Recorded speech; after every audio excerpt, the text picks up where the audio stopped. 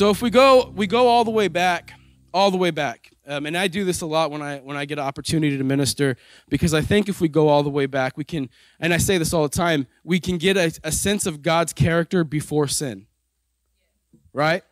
And and if you want to know what God is really like, who God really is, look at look at him before sin came into the world. Now God didn't change; people changed when sin came into the world right? But we can see the relationship between man and God so clearly before sin. And it was such a beautiful thing. And it was one full of uh, intimacy. It was one full of a conversation. It was one full of purpose. And I've realized that, that uh, our identity, our identity is, is tied to our purpose. Okay, like if you read in Genesis, uh, uh, Adam was called man in the Bible. He was called man until he received his purpose, and then he was called Adam. That's not a fluke, right? Think about, think about Abram and Sarai. They received purpose and promise from God, and all of a sudden they became Abraham and Sarah. God didn't just change the way he, you know, the, the, the vocabulary. He didn't just like Sarah and thought it was more beautiful than Sarai. There was a reason. Think, think New Testament. Think Saul when he became Paul. When did that happen? When he received purpose from God on the road to Damascus right? Our purpose is tied to our identity. And so if you're here this morning and you find yourself in this identity crisis or a part of that stage, or you're just, man, I don't know who I am in God. I have no idea. I just, I believe in Him. I believe in Him. I know He's real.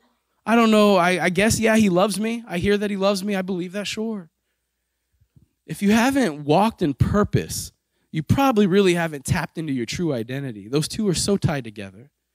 But, and we see that in Genesis, but we see other things. We see that God would speak so clearly to man. So clearly. There was no confusion. Remove confusion. I think the first time really that you see confusion become a thing was with Moses. And this could be wrong. This might not be the first time, but this is the first time I, I, I, realized it. It was with Moses. And it wasn't even confusion as much as it was rebellion. Remember when, when God told Moses, you know what, you're going to go to Pharaoh, you're going to tell him to let my people go. Um, and, and, and Moses is like, well, stop right there right? Let's let, hang on a second. Who am I? And they go back and forth and have this this conversation, and then finally the Bible says that, that God's anger burden against Moses, and I've I've even mentioned that before, right? Because I, I think we can truly see God's character in relation to man. And I want to I want to say something this morning. You and I, we are not equals to God. And there is a gospel out there that, that, that when we come into Christ, we become equals with Christ. We become, we will never be equals with the King of Kings and the Lord of Lords. We will be bought by the blood of the Lamb. We will be redeemed. We will be sanctified, right? We will be made right, reconciled to God, but we will never be equals with the King. We will never. And so, because of that, his ways will always be higher than our ways. His thoughts will always be higher than our thoughts. Why are you saying that? Well, because it, it, shows you and I that we have some searching to do. We have to, we have to, we have to get to a place where we're hearing from God. If His ways are higher and His thoughts are higher and He's higher, we need to hear from what He has to say about our lives, right? Unless you want to continue just to make it from service to service. And I almost feel guilty for asking you, some of you, to sign up for outreaches. Can I be honest? How can I expect any of you to, to, to go and, and minister out of an overflow if you're barely making it yourself? And I have to look in the mirror with this word, okay? I'm not always in this overflow. Let me tell you, sometimes I have to, I'm, I'm, I'm, I'm what is that, uh, military crawl?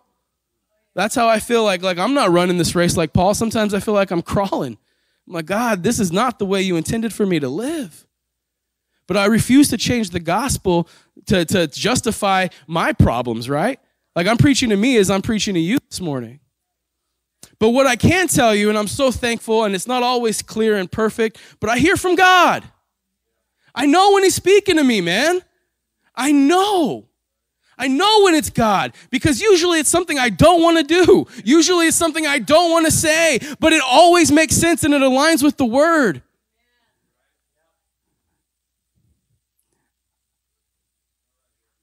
Do you know when God's speaking to you? Do you know it? Let me how many believe that God is always speaking to you? He's always at least willing to, always has something he wants to say to you. How many can tell me at least five things he told you yesterday? Don't raise your hand. You don't have to raise your hand. Jesus said this. He said that I've only come, first, he says, I've only done what the Father has told me to do, or what I've seen the Father do. And then later in, uh, in uh, Matthew, he says, I've only said the things that he's commanded me to say. If you read in the book of the Mark, it says that, that you could not contain, there's not enough books that could contain all the things that Jesus did. That means God is always talking. He's always telling Jesus what to do and what to say and how to say it. And, and Jesus followed that so perfectly. A man without sin, it's, un, it's, it's unbelievable. But we have, to, we have to ask ourselves, why is it so difficult to hear? And we can throw out some, some kind of basic answer sin. Yeah, sin is a separator from God. If you have active sin in your life and you know you have sin in your life and you refuse to deal with it, yeah, you're probably not going to hear from God so clearly because you're ignoring the word of God right? And we could throw out some answers, but the, the Bible actually offers some really, imagine that, right? The Bible, the Word of God, actually offers some incredible insight on this very matter. Uh, let's go to James chapter 3. Man, I'm gonna, I need to open up my notes. And we'll start in, uh, in verse 13. That's going to be the second half of the chapter. And we'll read till the end. I think it's verse 18. and can we get that on the board? Listen, it starts out with this question. It says, Who is wise and understanding among you? This is one of those questions you don't raise your hand to either. Let him show by good conduct that his works are done in the meekness of wisdom and we'll pause right there. Uh, just just real quick. It says that that your your works are done in the meekness of wisdom. The meekness of wisdom. What does that mean your works would be done in the meekness of wisdom? It means that when you work when you do something the evidence of that work it, it, it, it will be obvious that it was done in wisdom right? Knowledge is one thing. Wisdom is is another thing. Wisdom is is acting out the knowledge that you have Right? My, my wife, she, she's sitting back there. She gets mad at me all the time because I, I have a lot of knowledge on eating right. I just don't eat right. Right? Like, I legitimately have so much information on fasting, intermittent fasting, um, um, you know, Atkins, all these different types of diet, Whole 30, all of this information, things about what happens in your body when you put too much grain in it, things, all of this information. But guess what? I'm overweight. Right? Let's be honest. I'm overweight. So, who cares about the knowledge that I have? Right? There's a scripture in the Bible that says wisdom will be proved right by all of her children, meaning when wisdom is present, there will be evidence of that wisdom. There will be evidence of that wisdom. Now, next week, when I come in looking like a bodybuilder, right, and I'm lifting 350, right, that's not. Maybe one day. But then you can look at me and say, man, that guy had some knowledge. I can see it. I can see that he knew something. But until that day comes, it's just knowledge. And so it says, go back one, 13. Let him show by good conduct that his works are done in the meekness of wisdom.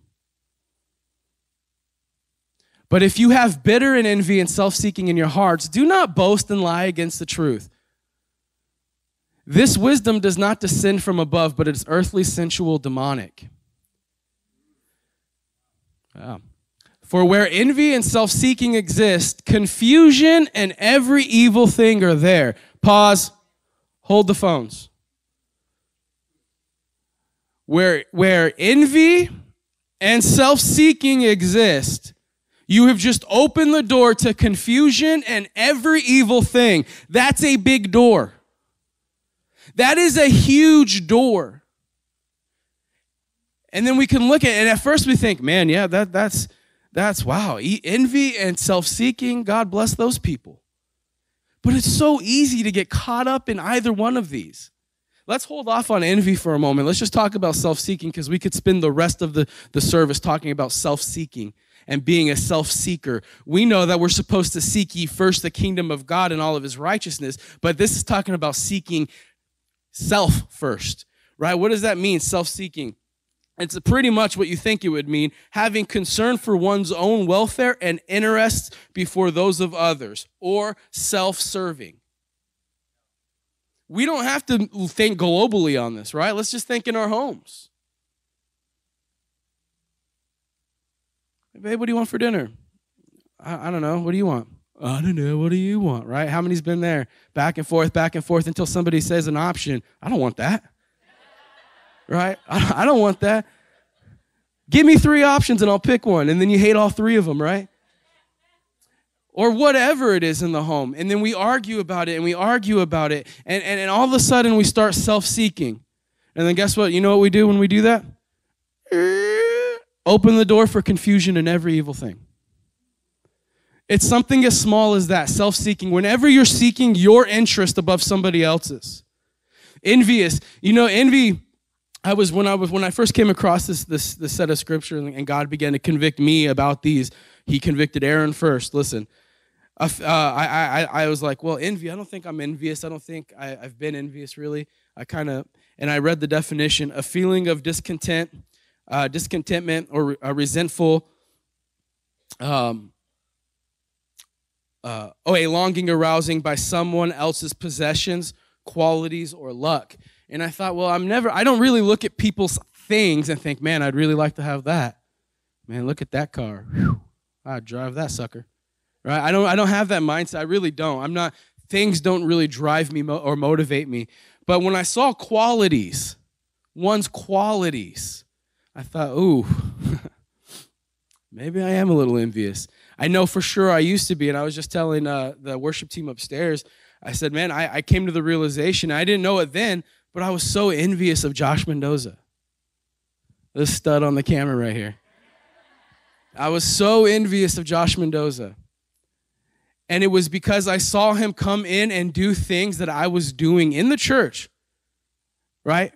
In, in, terms of like media and things like that. And he did it a thousand times better a thousand as I understand, uh, a million times better than I ever could do it. And I didn't realize it at the time. Hindsight's 2020. I was so envious, and I was jealous, and I didn't, and I, and, and I don't know what I was thinking then, but I realized now the reason I could never do it as good as Josh Mendoza could do it is because I wouldn't put in the time to be as excellent as Josh Mendoza did. I watched him study and learn how to do things and take his time with things and make sure that it was great before he would put it out. I watched the, the way he went about it. And I never would put in that effort. I never put in the time of day to be as great as something that, that Josh Mendoza, and I was so envious of him. But with envy, envious and, and wherever envy and self-seeking lie, confusion and every evil thing are there. Do you believe what the Bible says this morning? So if when you're praying and you're asking Lord for direction and asking God to hear his voice, and all of a sudden it gets cloudy sometimes you end up a little bit more confused than you were. You have to look in the mirror. You have to do a self check and say, God, am I self seeking? In fact, you even praying about a matter might be an indicator that you're self seeking. Let me explain. Now, I'm not saying you don't take your needs before the Lord. You do. That's what the Bible says. Cast your cares on Him, He cares for you, right? Come to me, all who are weary and heavy laden, and I will give you rest for your souls. I'm not saying you don't cast your cares and you take your needs before the Lord. But what I'm saying is, are you praying for something that goes against the Word of God? Are you praying for something that you don't find in the Word? Are you ignoring a whole revelation that God has given you from the God? Like, for instance, um, uh, um, maybe you're a husband Okay, maybe you're a husband and you're the head of the house, you're the priest of the home, and you are ignoring your duties as a priest. And while you're ignoring your duties of the priest, you're trying to add this to your life. You're trying to add this, this program or this thing or this activity or this whatever it is, and, and it's not happening the way you want to. And so you pray, God, you see my heart's desire. I really want to add this to my life. I really want to take part in this. I really want to do this. How could, and then all of a sudden it's like, oh, I'm self seeking. I'm self seeking. I'm, I'm seeking what I want before what God wants. Right? And I'm talking to the man who's had the revelation that, oh, you're supposed to be a priest of the home. God's speaking to you in these areas. I don't expect any of us to have a full understanding of the Bible at all times. Okay? I don't. That's why sanctification is a progressive work right? That's why we, we are clay on a potter that continues to spin and be molded. That's why we continue to be transformed by the renewing of our mind. This is a progressive thing. I don't expect us to all get it at once. But when God reveals something to you and he, he, convicts you of it and he speaks that to you and you know he did and you ignore it, and you try to you're praying about something else over here your prayer might just be an indicator of you self-seeking right and guess what? We just kicked that door wide open. confusion, and every evil, not some evil things, by the way. You're dealing with evil in your home? Let's see if we can find envy and self seeking there. Right? Let's look for it. That might be it. That might be it. You have a hard time crucifying your flesh. You know, and let's let's boil this down for a second. What is the opposite of envy?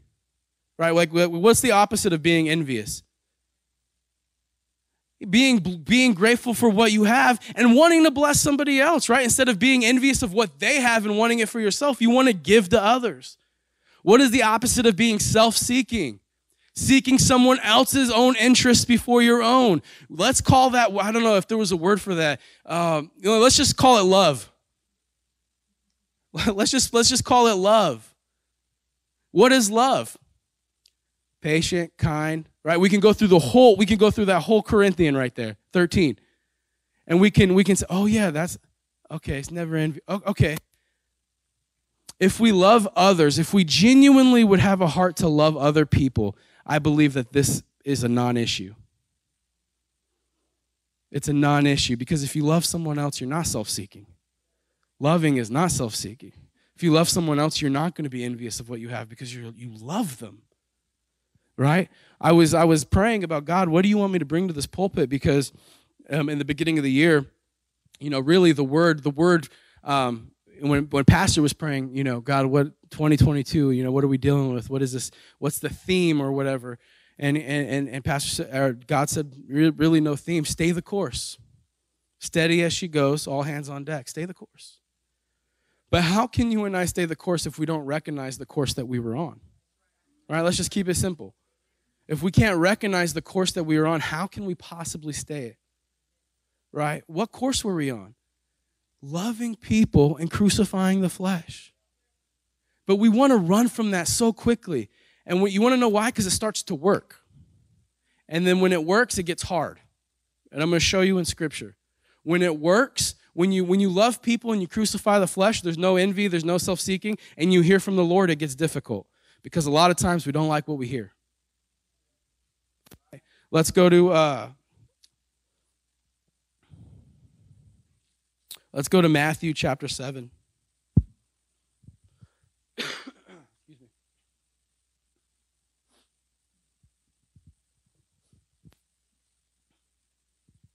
In verse 24, it says this it says, Therefore, whoever hears these, this is Jesus speaking, whoever hears these sayings of mine and does them, I will liken him unto a wise man who built his house on the rock. And the rain descended, and the floods came, and the winds blew and beat on that house, and it did not fall, for it was founded on the rock. But everyone who hears these sayings of mine and does not do them will be like a foolish man who built his house on the sand. And the rain descended, and the floods came, and the winds blew and, and, and beat on that house, and it fell, and great was its fall. You know, um, that stinks, man. Like, you mean the one who hears Jesus' words and does them also has to go through the rain and the storm and the beating on the house? And that's when it works. We hear his voice, the confusion is gone. We crucified our flesh and we love people. And all of a sudden we're hearing his voice and we're obeying him. And those who hear his voice and does what it says is like the man who builds his house on a rock and when the wind comes and, and it beats against the house and you say, you know what, I quit, I can't stand it, I can't take it. I can't take it, I back out of that. I ba- I'm circling the mountain, I'm just gonna keep going around. I'm gonna keep in this wilderness, I can't take it. It's easier. It's almost easier. And then all of a sudden conviction comes and then you, you barely make it to church. Right? When God's, a lot of times, God speaks wonderful things to us that are edifying. I mean, every time He speaks, it's wonderful if we look at it with the right perspective. But sometimes it's just right off the bat. I remember I've said this so many times because it was a life changer and it was just a moment for me. I was driving a shuttle van for an old hotel I used to work for, and as I'm driving, just as clear as day, the power of God came into that van and said, I love you. And I pulled over and I wept. I almost crashed. I don't know if I needed it, but I needed it. I'm so thankful. she said, Yes, you did. I'm so thankful that I got it. Changed my life. Simple. I heard his voice and I didn't have to hear the. But guess what? There was a day when the rain came and the, wind was beating on my house, and I, oh yeah, Jesus, I remember you love me. I remember you love me, right? And we were able to withstand that. We don't like we don't like a lot of what we hear because a lot of what we hear is nope. Nope. God, should I should I I don't know, guys. There's so many situations. Should I approach so and so about the, the offense that's inside of me? Nope. Yeah, but I really want to. Why do you really want to? So you can dig into them and tell them what they did to you? So you can tear them down at the expense of, uh, uh, at the hopes of you being built up? And God says, no, don't do that. Let me heal that in you. Let me deal with that in you. And then we could talk about the other, right? But we don't want to hear the no. We want to hear the, yeah, go get them. Sic them, right? That's not how God works. And the thing is, and we know this, church, we know God will never change the way He does things for you. He will never change his character for you. He will never change his standard for you. He will never change the the way the kingdom of heaven operates will not be changed for you. It just won't. And so you and I have an opportunity to hear his voice and make those alterations and those adjustments. I remember when pastor said that stay the course, I thought, "Man, that's a great word." Like like stay the course means we're on the right track, right? Like stay the course means like we don't need to make a hard left. We're doing it right. And then I was like, well, no, because the course we were on were full of adjustments and, and we, were, we were crucifying the flesh. The course that we were on was full of change. And we're supposed to stay on that course, right? And at first it sounded so good. I was like, yeah, it was one of those words that we want to get. It's like, yeah. And then you realize what it really means. And you're like, oh. But how come, how come it's, oh, how come it's not, yeah. I can cruise, I can finally get rid of this junk. I can finally deal, look in the mirror and deal with this issue. You know, we had a meeting um, uh, Friday night with the discipleship team leaders. So, like, you know, teachers of discipleship classes, uh, my leaders uh, uh, that, that we had, you know, like Tom and Stephanie with Celebrate Recovery, so on and so forth. And um, we had a meeting, and it was so good. Um, and I had I had like an agenda of what we were going to talk about and what we were going to do. And when God wants to do something, God does something. And um, and it totally went in a different direction and, and people were weeping and and and and but you want to know what the theme of that meeting was? The problem's you. The problem is you. It's not me. Well it's me. It's not you. Do me a favor. Look at your neighbor. Say the problem's me. Now look at your other neighbor. Say no it's not. It's not you. It's me Do you see what we just did there? You're the problem. In my marriage, when there's an issue, I'm the problem. In my conversations that I don't, if I don't get along, if I don't agree with somebody, whatever, uh, uh, peacefully, let me say peaceful, if peacefully, if I don't agree with somebody, the problem's me. It's not them because guess what even if they even if they are at fault for something i should still be a uh, lord prepare me to be a sanctuary, right? I should still be that, that place of refuge. I should be the peacemaker, the peacekeeper. I should be the one to instill the peace and make the change, change the atmosphere because I have Jesus within me, even if it's them, their fault. But the moment I don't do that and I play the game, it's my fault. It no longer matters because now I'm, I'm, I'm wrong in the situation and I'm wrong in the eyes of the Lord. Are you with me? And that became the theme of this meeting is the problem's you. And I kept saying this, and Tom was like, hey, you know, and he told me this morning, he goes, I'm not your Holy Ghost, you know. And I said, I know. And he said, uh, but there's a sermon in that, it's you. He goes, uh, You said it over and over. It's you, it's you, it's you, it's you. And, and it's because I have to look in the mirror every day and I have to say, It's you, it's you, it's you, it's you. And can we, can we just get on board that the problem's you? And look at me. Everyone said, No, Aaron, the problem's you. No, it's not. It's you. You don't know what to do right now. The problem's yourself, and the problem is myself. The reason we can't hear from the Lord, it's my fault. Problem you don't hear from, it's your fault, right? But when we do hear from the Lord and it starts to work, this is where we just left off. When it starts to work and that, that, that rain comes and that storm comes, and even though we walk through the valley of the shadow of death, right? When we're when we're when when it's uncomfortable, when it's hard, we want to forfeit. We want to quit. And I want to ask you, can you stay? Can you stay long enough to allow God to do what he wants to do in that situation? Will you stop forfeiting God's blessing on your life? Think about this. The, the, the, the, the best thing, the best thing could happen in the worst situation. And I mean that. Think about, think about Jesus. Jesus went to the cross. What happened on that cross? The best thing for you and I, but also the best thing for the thief hanging on the side of him. Think about all the times Jesus said, It is not my time yet. My time has not yet come. My time has not yet come. I wonder if it's because he had more ministry to do or because he was waiting for that thief to be crucified. I wonder if God had that appointed. God saw that thief with a heart that would change like that, the heart that would believe in a Christ and, and he waited. And then as soon as that man was arrested, he goes, All right, Jesus, it's your turn. I wonder, I mean, I don't know. I wonder if that was it. Because the best thing happened in the worst situation, and it's true for you and I.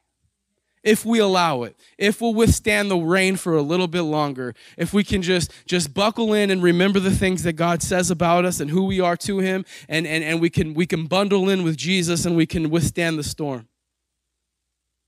I wonder what would happen. I know what would happen. The perfecting of the saints. That's what would happen. Let's go to Genesis chapter 12.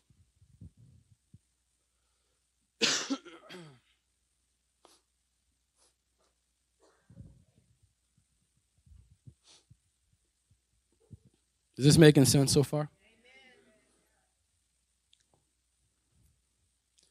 Now the Lord had said to Abram, Get out of your country, from your father and from your father's house, to a land that I will show you. Now, now listen, God is speaking specific right now because that's how God speaks. God only speaks specifically. He only speaks in a clear way. Jesus would speak in parables, but it wasn't to confuse the disciples. It was so that they would understand what he's talking about. Jesus is a very, very uh, articulate fellow. He knows what he says what he means and he means what he says. He's speaking clearly right now with clear instruction because that's how he always wants to speak. I will make you a great nation. I will bless you and make your name great, and you shall be a blessing. I will bless those who bless you, and I will curse him who curses you, and in you all the families of the earth shall be blessed. So Abram departed as the Lord had spoken to him, and Lot went with him, and Abram was 75 years old when he departed from Haran. Then Abram took Sarai his wife and Lot his brother's son and all their possessions and that they had gathered and the people whom they had acquired in Haran, and they departed to go to the land of Canaan. So they uh, came to the land of Canaan. Abram passed through the land to the place of uh, Shechem, as far as the someone say that for me, Ter- Terebinth tr- uh, tree uh, of Moreh, and the Canaanites were then in the land. Then the Lord appeared to Abram and said, To your descendants I will give the land. And the, there he built an altar to the Lord whom appeared to him. And he moved from there to the mountain of the east of Bethel, and he pitched his tent with Bethel on the west and Ai on the east. There he built an altar to the Lord, and he called on the name of the Lord. So Abram journeyed going on still toward the south. Let's keep going. Now there was a famine in the land. Uh oh. And Abram went down to Egypt to dwell there, for the famine was severe in the land. Let's pause right there. Everything was on point. Abram was doing so good. He got up, he left his descendants the way God told him, he took his things the way God told him, and he went into the land which God had told him until there was a famine. Until there was a famine. And, and, and it says this, and Abram went down to Egypt to dwell there, for the famine was severe in the land. But I missed the part in 10.5 where God told him to do this right? Now we're talking about the father of faith. We're talking about Abraham, the man, right? The one when God said to sacrifice your only son, uh, uh, uh, uh, he took him up there with a knife, held it over the very the very seed of the promise of God, and he was going to do it. And then in Hebrews we realize that Abraham believed that even if he did kill him, God would raise him back from the dead. We're talking about the man, right? And God didn't tell him. He, he, there was, a, there was a, a famine in the land. And so Abram's like, you know what? And this is, we do this. You know what? I'm just going to go into Egypt. I'm just going to go and buy this house, or I'm just going to go move to the city, or I'm just going to go attend this church, or I'm just going to go take this job, or I'm just going to go do this career, or I'm just going to go marry this person, or I'm just going to go on and on and on. You know what? Why not? It's not comfortable here anymore. You know, and then I, and then you know what response I got? I talked about this to somebody who I really respect. They don't attend this church. I talked about this this issue, and you know what they said? Well, what about the four guys that that, that they were they were dying in the in the um, in the famine, they were like, well, if we stay here, we're to die. If we go, we're to die. We might as well go. And then they were blessed. They weren't covenant people. They didn't they don't play by covenant rules. They don't play by I have to obey God. They don't even they're, they're not Christians. They're not disciples. They're not Israelites. Right? When you and I come into a covenant, we play by different rules in the world. The world can act out of desperation. You and I should never be desperate. God will show mercy to the world. He will.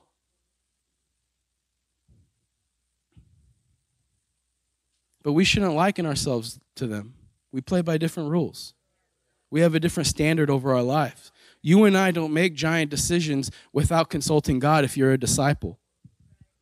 And I'll say it again if you're a disciple, you could play church, you can go to church, you can. If, if, if, if being a Christian was a crime, going to church is not enough evidence to put you away. You know what I'm saying? It takes more than going to church to be a disciple. The way you walk with the Lord will determine whether or not you're a disciple. And you guess what happens? Guess what happens? And we'll read further. But remember, we're envy and self seeking, and that's what happens self-seeking. He's in a he, Abraham is in a Abram at this point is in a in a in a famine, and he starts to self-seek instead of looking at God who told him to be there. He starts to self-seek. What comes with self-seeking? Confusion and every evil thing. Let's see what happens. Let's go. Let's go to the verse 11. And it came to pass when he was close to entering Egypt that he said to Sarai, his wife, Indeed, I know that you are a woman of beautiful countenance. Therefore, it will happen when the Egyptians see that they will say, This is his wife, and they will kill me, but they will let you live. Pause right there. Already confusion's happening because this is not what happens. Therefore, it will happen when the Egyptians see that. Oh, let's go to the next one. Please say you are my sister. Every evil thing. Here comes the lie. Please say that you are my sister, that it may be well with me for your sake, and that I may live because of you. Selfishness. So it was when Abram came into Egypt that the Egyptians saw the woman that she was very beautiful. The prince of the Pharaoh, uh, the prince of Pharaoh also saw her and commanded, uh, commended her to Pharaoh, and the woman was taken to Pharaoh's house. There's envy in there too. He treated Abram well for her sake, and he had uh, sheep, oxen, male donkeys, male and female servants, female donkeys, and camels. But the Lord plagued Pharaoh and his house with the great plagues because now okay let me finish this real quick. I'm gonna but the lord plagued pharaoh and his house with great plagues because of sarai abram's wife. Pause right there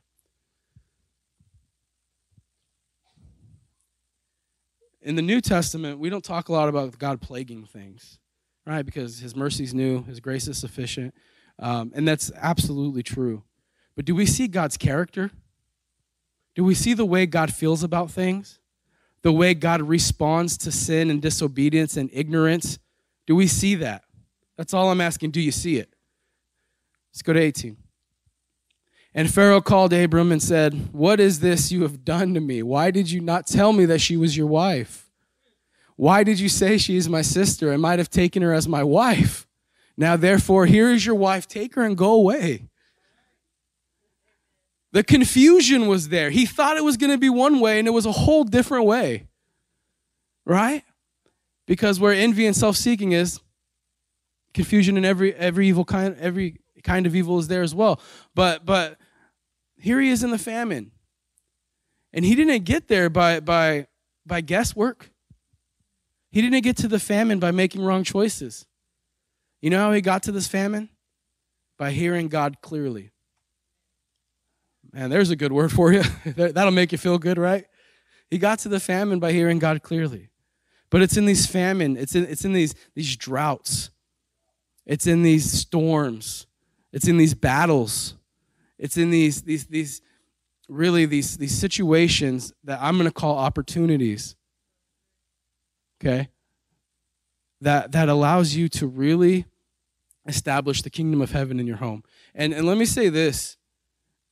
You and I we really don't have to play by the famine's rules either. When there's a famine, what is a famine? What really is that? What is a drought? A drought is when, when a, a region is lacking water, which is causing things to die. Right? That's what a drought is. When we've been in a drought in California for a long time, or we had been, or whatever, we were la- and farmers were kind of like, dude, I don't know what I'm gonna do. I don't know what I'm gonna do. We need water. Right? And that's what happens. And but you and I, when we when we go through a drought, the Bible teaches that we can produce fruit in every kind of season because that's the Jesus we serve. God doesn't lead us into a famine and, and, and then abandon you. He leads you into a famine and gives you his word even more clearly on what to do and how to produce fruit in that famine. Maybe he leads you into a famine because you're supposed to be the water supply. Right?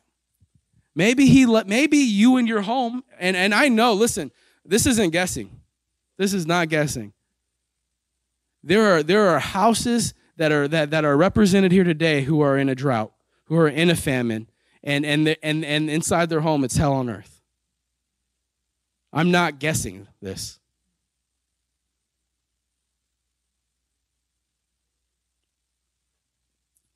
And and a lot of that has nothing to do with because God led you there.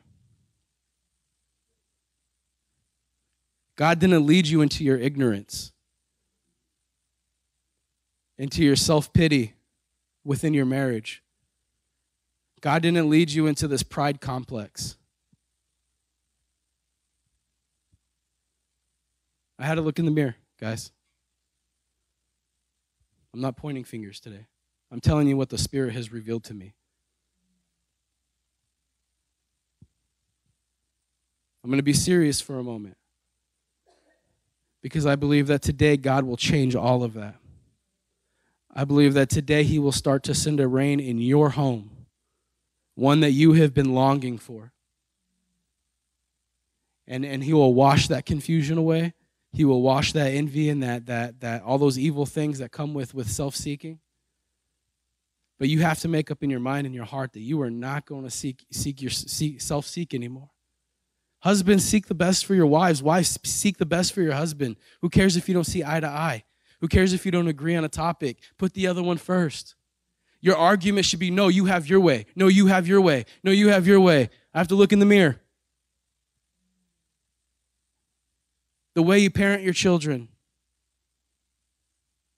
the way you go about with your conversation, conversating with your coworkers.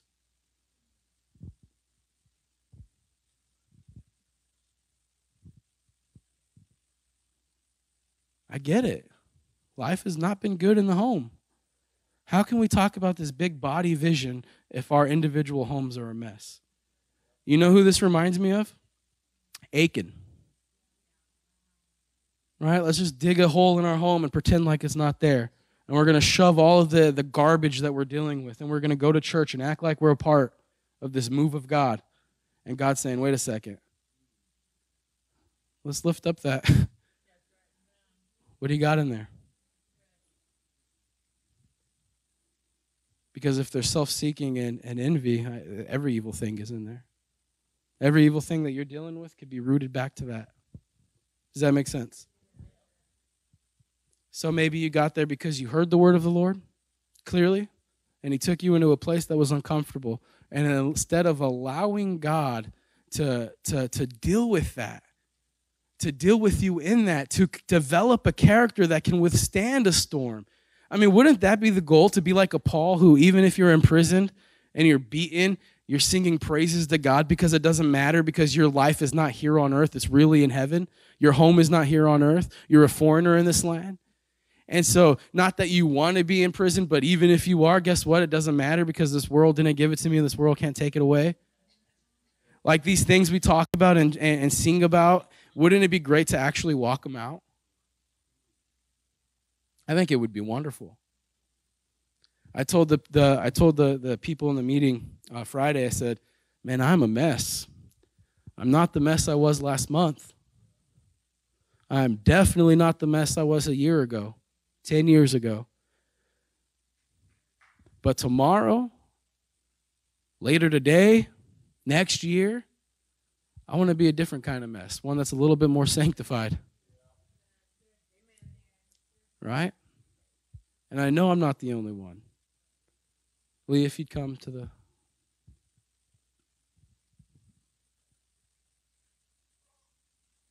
I think that's my daughter. Oh, hey, nobody touch her, by the way. She's new. Can I say that? We all think it when we have kids, right? But I get a mic and I can just be like, hey, just, just give us some space, okay? She'll be here for a long time. We're not going anywhere. Unless you sneeze like Purell or whatever. Like, no, I appreciate you guys, and it's a pleasure to be part of this house. Um, but if you stand to your feet,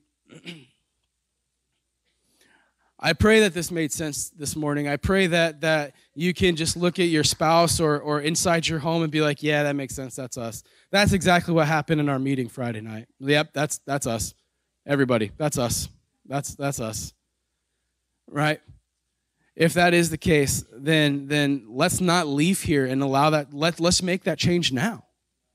Just ask for forgiveness confess your sins to the father allow him to forgive you and then and then guess what? If you need to make it right with your wife your husband with your kids with your neighbors whoever it is make it right. Confess your sins to them.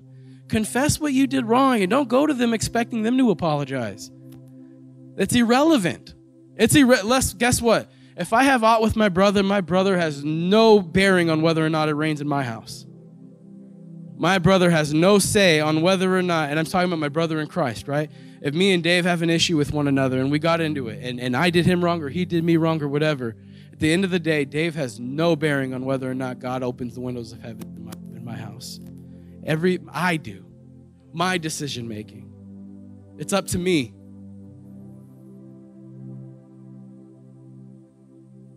But let's confess it. Let's just deal with it. And let's stay in that drought a little bit.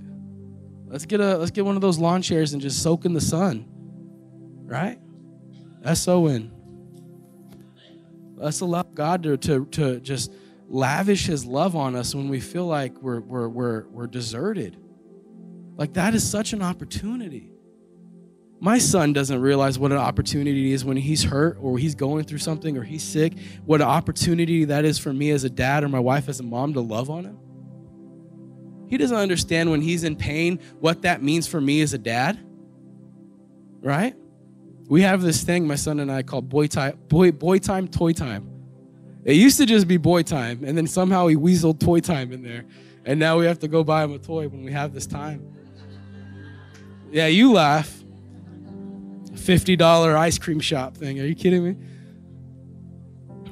But uh but anyway, I said that because because we, we, we went to go have boy time, toy time, and he got out of the car, and I guess he gets this from my side of the family. But before he got out of the door, he somehow shut himself in the door, and he just I, I don't even know how it's possible. And I and I had to stop myself from laughing for it because I was like, dude, how did you? And then I realized, oh, he really hit his head. I need to check on him. But that was such an opportunity for the rest of the night for me to baby him and just to love on him and to, to lavish who I am as a father on him. And God does that in our droughts and He does that in our pain. I think as believers, for so we have so much wasted pain. So much wasted pain. Listen, you're gonna go through the drought either way. You're gonna go through the wilderness either way, right? Whether you rejoice in it or you're miserable in it. But if you rejoice in it and you you check your attitude in it, then God is going to do something incredible in it if you if you just if you're just one of those negative Nancy's, if your name's Nancy, sorry, if you're just one of those people and you're just like, oh, I'm never gonna blah, blah, blah. forget it. You're gonna be in the drought for another five years, or you're gonna circle that mountain and come back to it. Let's let's advance this morning. Let's move forward this morning. Next week when we come to church, let's not barely make it. Yeah? If this word spoke to you, I want you to come forward and we're gonna pray. And I'm gonna give you opportunity to kneel at the altars and to ask for forgiveness for the things you need to ask for forgiveness for. And we're going to take our time this morning. We're not in a rush. because I believe that God wants to speak clearly. That was another thing that, that God spoke over this year, right? Confirmation. Confirmation. I'll never forget it. You know where I get my number one confirmation when the Lord speaks to me? Through the Word of God, every time. That's where I go first. That's where be, God will reveal something to me, and I will immediately think of Scripture to back it up. Immediately. I'll, I'll go try to find it because I don't want, that's where I get my first confirmation from. God wants to speak so clearly. Listen, if you're a spouse of, of a married person that's at the altar and you're like, well, it's a good thing they're there, you probably need to be here too.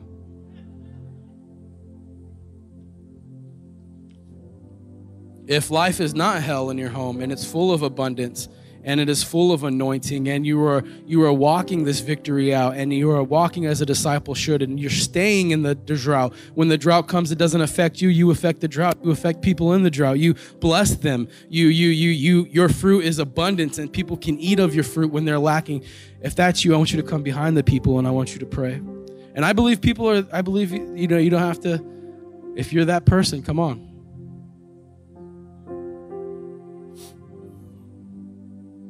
There's a lot less people. There's a lot less people coming on that call.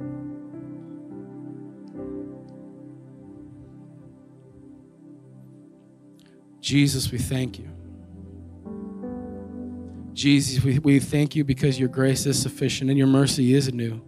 We thank you because you are uh, uh, uh, you are faithful and you are just to forgive us of our sins, Lord that your blood does wash us white as snow. The deepest, darkest stain in our life, you will wash white as snow and cast it as far as the east is from the west. Lord, you are the you are the restorer of the home. You are the restorer of relationships. You reconcile people to people. But God, you reconcile people to you. Your word says that no one can come to the Father unless the Spirit draws them. And so, Holy Spirit, I ask, I beg that you draw us this morning. Draw us this morning. God, lavish your, your mercy on us. Lord, it is your mercy that we need in these moments.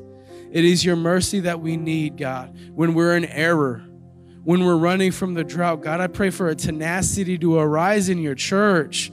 Lord, let a tenacity, a toughness, God. Let a toughness, God. Give us a strength that is not our own to arise in us so that way when you lead us into a drought which you have you did to abraham lord. You allowed the you led the disciples you told them to get in the boat and go to the other side and in the middle of that they became into a storm. You do these things god because you want to perfect something in us. God we will not slap your hand. Lord we understand we are not equals to you. We are simply heirs. We were bought in with the spirit of adoption. We are sons and daughters. And God, we receive right now anything that you want to pour out on your people. Anything that you want to pour out on your people, Lord, we receive it. God, I pray that as we deal with envy and self seeking, if that's you, if you're dealing with envy and self seeking in any way, I want you to come forward. And, and, and, and, and we, we repent of that, God. I repent of that. Lord, I, I apologize for my self seeking, God, for being selfish. And Lord, I pray that you remove any confusion or any evil thing that is a, a result of that from my life and from my home. God, I pray that we would not be like an Achan hiding things that belong to you or hiding things that don't belong to us, hiding secret sin, hiding uh, uh, these things that, that have no place in our homes, Lord.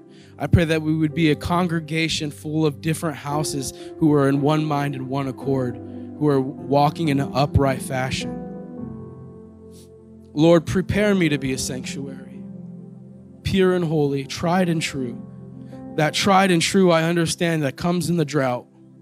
I am tried in the storms. I am tried in the adversity. I am tried when things don't go my way. I am tried when I disagree. I am tried when when it hurts. I am tried when there's pain. I am tried, God, when it I don't see a way out, Lord. But I understand I don't walk by by by uh, sight, Lord. I don't walk by sight. I don't. But God, we are people of a faith. We walk by faith, not by sight. Help us to trust in you, Lord. I pray that we would be peacemakers and peacekeepers. Lord, I pray that we would we would not be strangers to the drought. We would not be strangers to the storm, because we would go in there and establish peace. We would go in there and we would establish peace and we would keep it. I pray that you forgive us for getting ahead of ourselves, Lord, when we don't hear clearly from you and we make up the next step ourselves. And then we say things like, well, God will bless me either way. I pray that you forgive us for that, Lord. Lord, I pray that you, re, you highlight things in our lives that we might have added unto ourselves that you did not add. And now it's hindering us, Lord. It's being a hindrance to us, God. I pray that when we go to our brothers and our sisters to ask for forgiveness and repent and confess our sins to them, that they're receptive. Lord, I pray that they're receptive, God, that, that you would mold in and, and soften our hearts, Lord, that, that our hearts would be good soil. Our hearts would be good soil, Lord. There's a lot of junk to deal with, God, but you specialize in dealing with junk. You really do. You're a good God.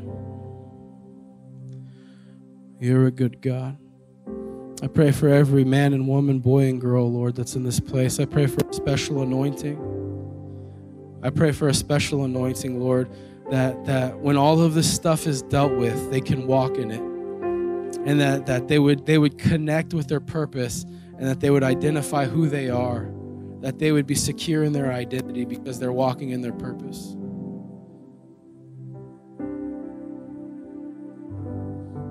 Your word is a lamp unto our feet and a light unto our path.